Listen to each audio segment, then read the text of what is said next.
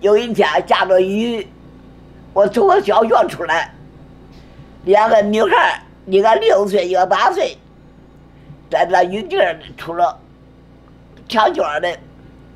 我你摸都可湿，我你咋不回家呀？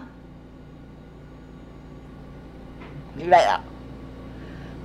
我问的多了，一个小卖铺的老太太说，说爸爸妈妈都死了，吃了不到一年，他有个奶奶还瞎，他没饭吃，我领他到饭店吃两的烩面。